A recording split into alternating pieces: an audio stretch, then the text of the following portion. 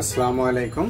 সমাজবিজ্ঞান অনার্স দ্বিতীয় বর্ষের শিক্ষার্থীবৃন্দ তোমাদের সামাজিক পরিসংখ্যান কোর্সের বিগত সালে যে প্রশ্নগুলো এসেছে, সেগুলো আমরা ধারাবাহিকভাবে সমাধান করার চেষ্টা করছি। সেক্ষেত্রে একটা জিনিস মাথায় রাখবা, যে তোমাদের আবারও বলছি যে এটা যে অঙ্কগুলো আসছে, তোমাদের অনুরোধের প্রেক্ষিতে বিগত সালে যে অঙ্কগুলো আসছে, সবগুলো আমরা সমাধান করার চেষ্টা করতেছি। যদিও অনেকগুলো লেকচার দিয়ে আছে, তোমাদের প্লেলিস্ট নাম্বার সেভেন এবং এইটে সেভেন হলো জাতীয় বিশ্ববিদ্যালয়ের জন্য এবং আট হলো ঢাবি অধিভুক্ত সেভেন কলেজের জন্য। যাই হোক সেখানে বিস্তার পরিমাপে দেখো পার্ট বিতে যে একটি অঙ্ক আসছে অলরেডি আমরা বেশ কয়েকটা অঙ্ক দিয়েছি। তার প্রেক্ষিতে আরেকটা অঙ্ক দেখো, দুই হাজার বারো সালে যেটা এসেছে, নিম্নের উপাত্ততে ভেদাঙ্ক নির্ণয় করো, যেখানে দশ, বারো, আঠারো, তিরিশ, পঁয়ত্রিশ, চল্লিশ, সাতচল্লিশ, পঞ্চাশ, এই সংখ্যাগুলো দেওয়া আছে। তো সমাধান ধরি, সংখ্যাগুলো এক্স এবং পদ সংখ্যা এন সমান আট, ভেদাঙ্ক নির্ণয় সারণী। আমরা আগে বলেছি, পরিমিত অবদান ভেদাঙ্ক, বিভেদাঙ্ক, যাই বলুক না কেন, টেবিল কিন্তু সেই একটাই হবে।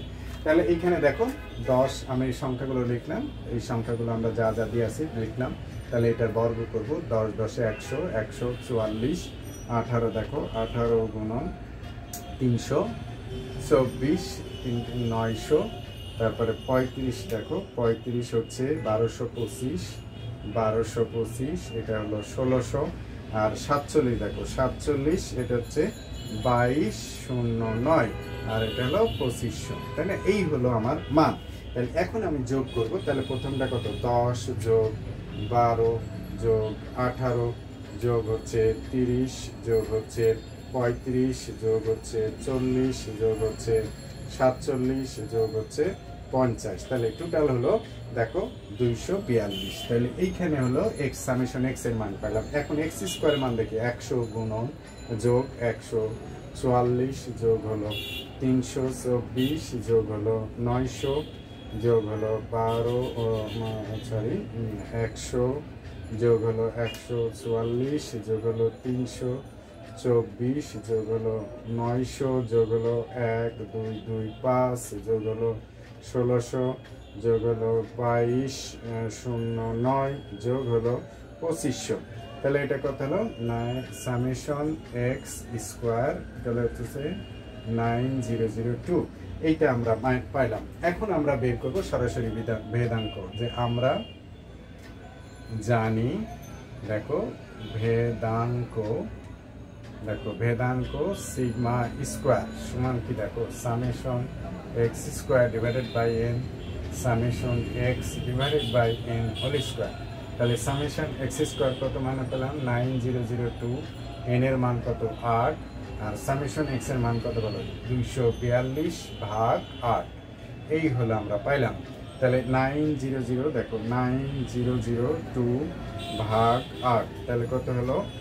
One one two five point কত? টু ফাইভ আচ্ছা তারপরে দেখো, দুইশো বিয়াল্লিশ ভাগ আট। এটাকে যদি আমরা বর্গ করি, তাহলে কত হলো?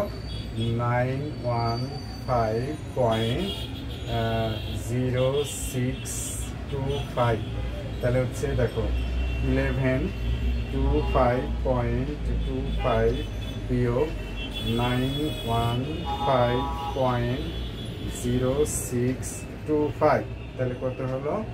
দুইশো দশ পয়েন্ট কত? ওয়ান নাইন এই হলো আমার আহ, এইখানে একটা জিনিস মতো রাখো, দেখো, খুব সহজ একটা প্রশ্ন যদি এই এইটারই যদি বলতো যে বেদান বেদাং পরিমিত অবদান নিবে জাস্ট এটাকে রুট করলেই পরিমিত অবদান হয়ে যায়।